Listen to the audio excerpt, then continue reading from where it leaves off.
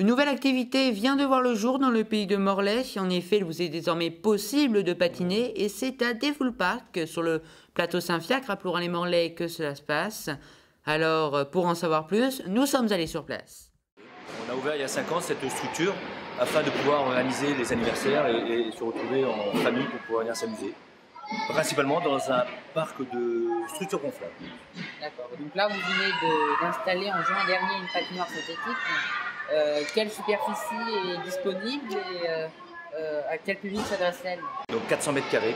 Nous avons prédisposé 180 mètres carrés dans le parc actuel afin de pouvoir devenir un parc d'initiation à la glisse et de partage avec les parents sur les, sur les après-midi. Donc on peut l'essayer, c'est aux horaires d'ouverture du parc ou il y a d'autres créneaux le, le, fait d'avoir simplement 180 mètres carrés d'installer, il est vrai qu'on s'est calé sur les horaires d'ouverture, c'est-à-dire le mercredi, samedi et dimanche de 14h à 19h. Maintenant, euh, plusieurs associations, plusieurs groupes d'ados, euh, euh, on, pense notamment faire le vendredi soir avec Pizza Party, un espace un peu plus adolescent.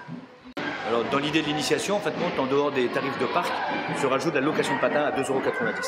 Voilà. Et il est notamment possible de venir, puisque la patinoire en elle-même, malgré les 180 mètres carrés, est une attraction à elle toute seule. Donc on peut venir patiner pour 5,70€.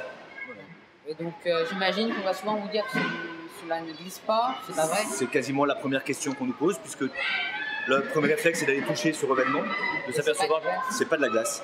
Donc c'est un revêtement écologique, hein, pas d'eau, pas d'électricité, et euh, qui avec du lubrifiant.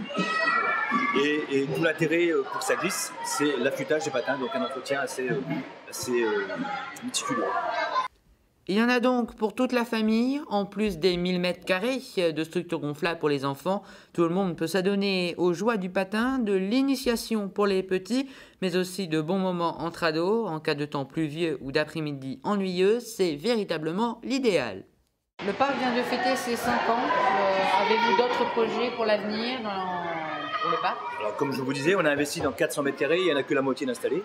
Alors, c'est peut-être de pouvoir euh, sentir euh, s'il y a le potentiel au point de créer peut-être un espace de patinoire où les 400 mètres carrés pourraient être un seul tenant. Nous, on a suffisamment d'horaires comme le lundi, mardi, jeudi, vendredi pour.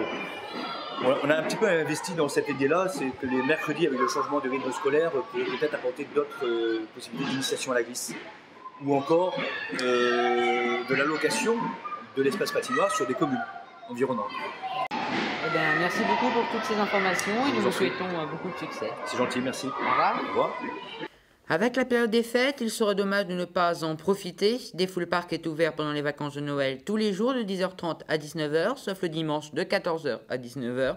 Ça sera fermé le 25 décembre et le 1er janvier. Pour plus d'informations, rendez-vous sur leur site internet www.defoulepark.fr ou sur leur page Facebook Park.